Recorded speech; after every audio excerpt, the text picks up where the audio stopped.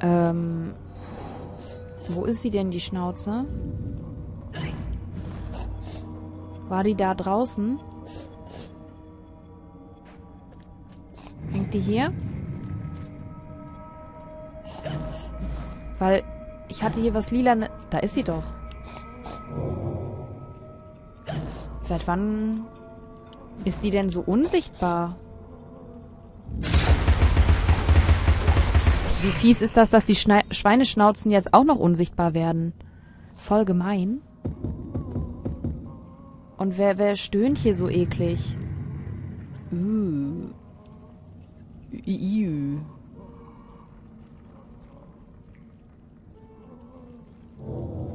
Wo, wo ist jetzt diese Plattform rausgekommen? Ich glaube, das sind die Fische, die so stöhnen. Überall tote Fische. Ach nee, da vorne. Da vorne kann ich hoch. Boah, ich brauche unbedingt Energie. Bin natürlich aber auch froh, wenn wir hier alles immer schaffen. Ach ja. Weg von den armen Fischen. Hier geht's auch hoch. Aber hier ist nichts. Okay. Da oben auch nicht, nehme ich mal an. Gut. Haben wir es geschafft dann, oder wie? Gehen die Türen auf? Nö.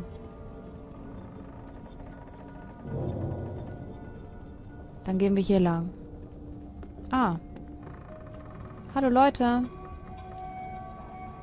Was sagt ihr?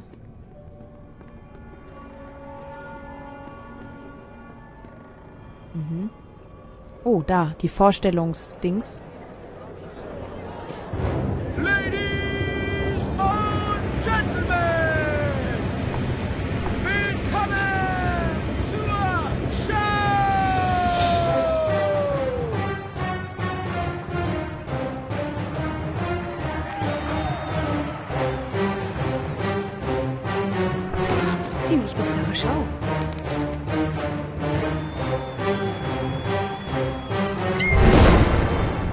Reicht jetzt, denke ich. Genug Vorgeplänkel. Hier kommt, worauf alle gewartet haben, was beweist, dass ich keine Vorurteile, dafür aber einen feinen Sinn für Humor habe. Schwert und Krone zählen ja nicht. Alle dürfen ein Tänzchen wagen. Könige, Lords und Talarengezücht, die blauen und die weißen Kragen. Das Schicksal bietet viele Tode, dazu noch Leid und Verdruss. Das Schicksal erlöst nur wenige, ein schuldiger. Feuer, Pest und seltene Krankheit, nasses Ende, stickiges Herz. Ein langer Sturz von Kellerstufen, jäh ist's aus, keinen Scherz. Oft ist mein Lärm beschwerlich hart, der Schweiß fängt an zu rinnen. Nach dem Tanz muss ich dann ruhen und das Festmahl kann beginnen. Essenszeit. Vor dem Tod sind alle gleich. Alle haben das gleiche Recht, gefressen zu werden. Anstellen, Leute! Nicht drängeln! Jeder kommt ran! Boshaftes Viech. Feierst, während das Wunderland zerstört wird. Ich bin nicht der Feind, den du suchst, Alice. Ich wollte dieses Stück Wunderland vor dem Ungetüm verbergen. Diplomatie ist zwiespältig. Wir müssen alle unsere Rollen spielen. Bist du Bauer oder Dame? Idiot oder praktizierender Narr?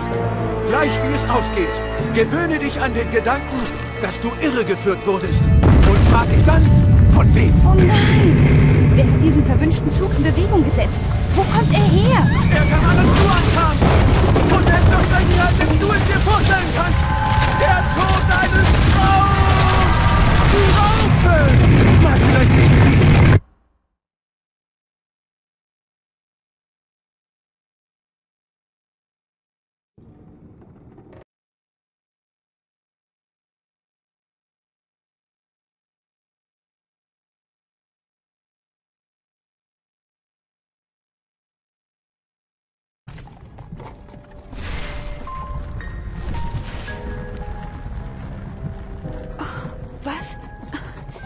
Blut in meinem Mund schmeckt gar nicht. Wo ist der Kerl, der mich geschlagen hat, Nanny? Der miese Kerl ist bewusstlos, aber leider noch am Leben. Was wollte er? Was wir alle wollen. Geld für nichts. Was hast du dir dabei gedacht, dich einzumischen? Hättest draufgehen können. Nanny, ich bin völlig durcheinander. Ich muss wissen, was diese furchtbaren Visionen bedeuten. Es geht um das Feuer. So wie immer. Du musst weiterleben, Alice, so wie ich. Wenigstens rotzt sie keinen Irrenhausunsinn aus. Meine Vergangenheit ist tot. Ich habe sie umgebracht. Ich hätte sie retten müssen. Ich hätte sterben müssen.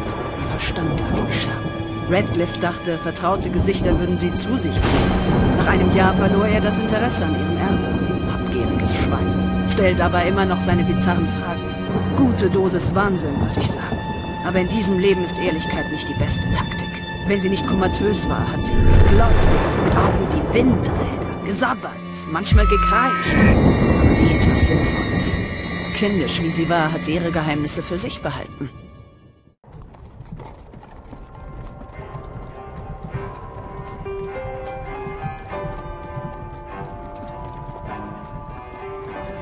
Ganoven und Spanner. Ordinär wie Kakerlaken. Und die armen Dinge sind nichts als Futter für Perverse. Wie Ameisen, die von einer Wespe gefressen werden. Oder die gelähmte Beute einer Spinne.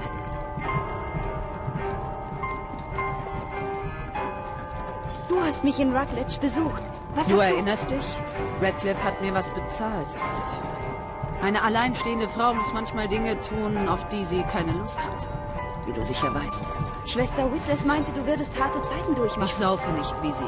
Ich tue niemandem weh. Ist kein schlechtes Leben, Alice. Abgesehen von den Zuhältern. Sie sagte auch, du hast vielleicht mein Kaninchen. Bitte, Nanny, erzähl mir von... Dem verdammten Feuer? Also wirklich. Sieh mal, Alice. Ich kann dir nicht geben, was ich nicht habe. Radcliffe hat den Untersuchungsbericht geschrieben. Ich bring dich zu ihm. Er hat auch dein verfluchtes Kaninchen. Erinner dich dran. In Ordnung, aber Mr. Radcliffe ist nutzlos. Als wüsste ich das nicht.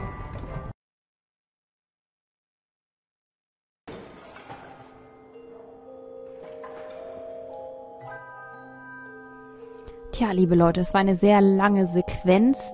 Ich werde jetzt einmal schauen, ähm, wie es aussieht mit meinem Speicherplatz gerade und dann sehen wir uns gleich kurz wieder und entweder spiele ich dann 10 Minuten noch weiter oder verabschiede mich. Also einen Moment bitte. So, da bin ich auch schon wieder. Ähm, ich hatte nämlich eigentlich vor, den Part zu beenden, aber ich werde zwischendurch, und das ist ja jetzt dann schon passiert, wenn ihr das seht, äh, werde ich den in der Mitte geteilt haben, weil es extrem lang jetzt war. Aber wir sind wieder zurück mit Alice. Yo, hab mich umgetan. Momentan nichts zu machen. Wimmelt nur so vor Polypen da seit den dreckigen Morden. Wer war's denn? Wenn du sowas Boah, mein Spiel, das spinnt aber auch manchmal so, habe ich das Gefühl. Wenn man so stehen bleibt wie hier.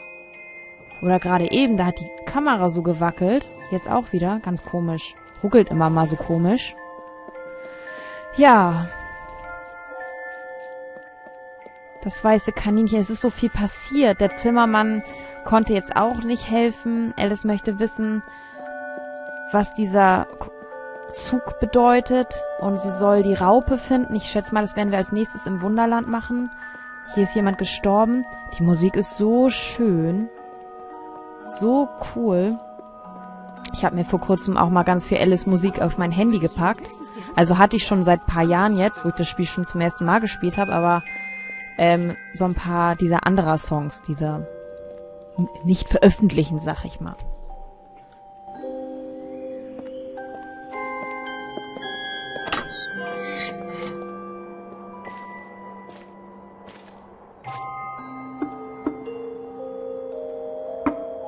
Ja, wer ist da? Alice Little, Mr. Radcliffe. Ah, du bist zurück. Komm besser hoch. Achtung, Tür öffnen.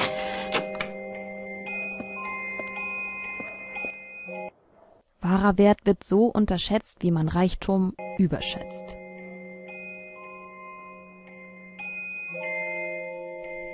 So, Alice besucht Dr. Radcliffe und ja, sie sieht wieder so aus, wie sie in echt aussieht, mit ihrem lumpigen Kleidchen, mit ihrem blassen Gesichtchen, irgendwie auch viel trauriger, düsterer und ernster finde ich sie jetzt. Ähm, was können wir uns angucken? Eine alte Schriftrolle aus Pergament mit Zeichen aus indischer Tinte. Radcliffe meint, Chinesen erfanden diese Tinte durch Mischen von Ruß, Lampenöl, Eselhaut, Gelatine und Moschus. Er weiß erstaunliche Dinge. Hm. Können wir in das Zimmer gehen?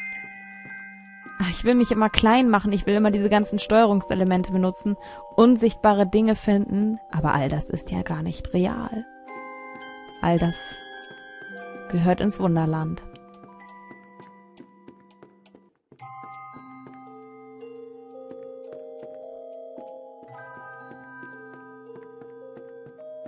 Was haben wir hier? Radcliffe, der aus spannenden Dröges machen kann, sagte, die gebogene Klinge sei ein Maitu-Katana des 16. Jahrhunderts und die kürzere ein Wakizashi, beides Samurai-Waffen.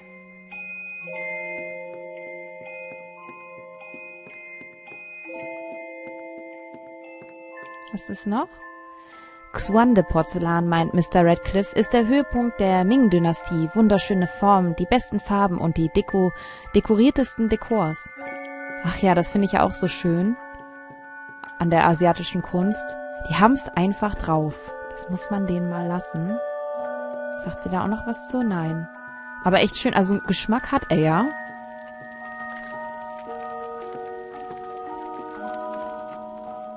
Sie haben mein Kaninchen. Hast deine Manieren vergessen? Was wohl sonst noch? Du hast es in Rutledge zurückgelassen, meine Liebe. Das hatten wir doch schon. Beleidigt, wie üblich. Triefend vor Dünkel und wirren Vorwürfen. Ich hätte ihr Kaninchen gestohlen. Lächerlicher Vorwand. Sie ist wieder wegen des Feuers hier. Das Einzige, worüber dieses verrückte Gör sprechen will. Laut meinem Bericht starb die Familie durch einen Unglücksfall.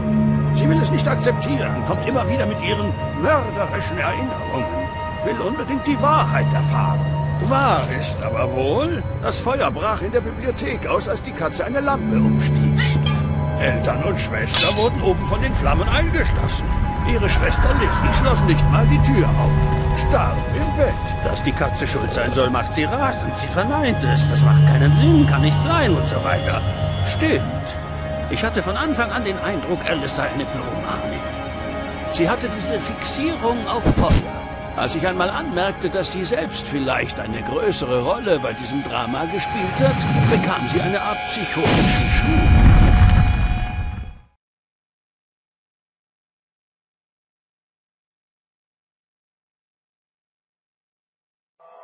Habe ich ihm den Kopf abgerissen? Ich wollte es. Was von meinem Hirn übrig ist, wird explodieren. Ist es verrückt, für bessere Halluzinationen zu beten? Vielleicht ist es mein Schicksal, hier zu sterben. Alle bewegliche, alle bewegliche Habe verschwunden, nichts als Staubflecken und Tabakgestank. Keine Spur vom Bericht des Leichenbeschauers, geschweige denn vom Kaninchen. Verdammt. Eine sehr düstere Stimmung herrscht jetzt gerade. Es waren ihre Erinnerungen an das, was hier mal passiert ist. Und sie möchte natürlich ihr Kaninchen wieder haben, um sich richtig zu erinnern. Und wie immer erfahren wir hier und da weitere Bruchstücke Oh, es war so schön hier gerade eben. Und jetzt sieht es hier so aus. Schon krass. Ähm ja. Sie möchte halt wissen, was wirklich passiert ist und wir bekommen immer Bruchstücke, wollte ich sagen. Okay. Von dem, was wirklich passiert ist. Ach. Da, da sieht man wieder so ein Element, ne, von der falschen Schildkröte die kennt sie aus ihrem echten Leben und so manifestiert sich das in ihrem Kopf und wird dann zu einer Wunderlandgestalt. So funktioniert das. Auch hier, diese, diese Pilze, ne? Aber da stimmt doch was nicht. Diese Pilze, die gehören doch eigentlich gar nicht hierher. Und, und hier sind ja auch gerade gar keine Leute und nix. Irgendwas stimmt hier nicht. Hier mischt sich gerade Realität und Fantasie.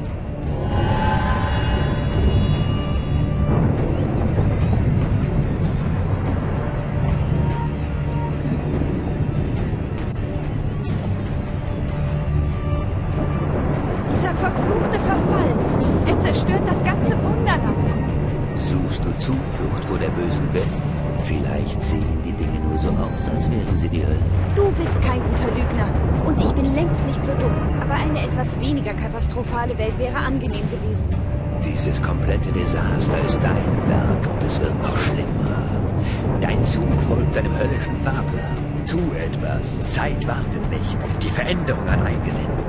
Dieser Zug versetzt mich in Angst und Schrecken, Katze. Such dir eine andere Aufgabe. Gibt es wirklich so wenig Hoffnung? Noch viel weniger. Und wenn die Angst dich lähmt, sind wir verloren.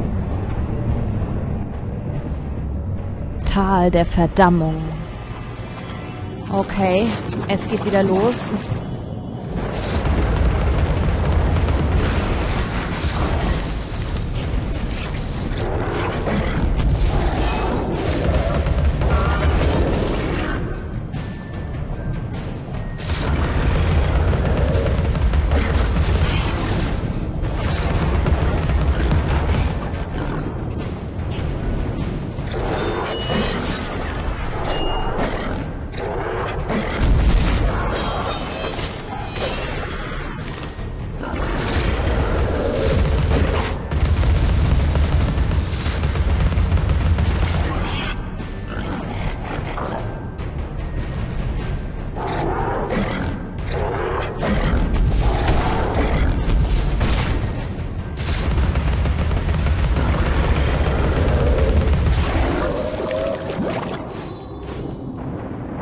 So.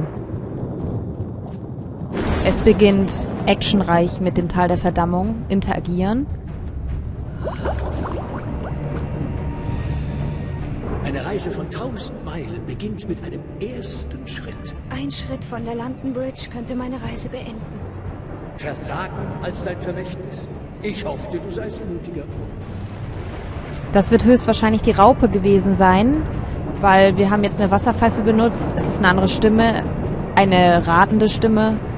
Und wir sind auf dem Weg zur Raupe, schätze ich mal, im Tal der Verdammung. Und dort sehen wir uns im nächsten Part wieder von Alice Madness Returns. Vielen Dank fürs Zuschauen.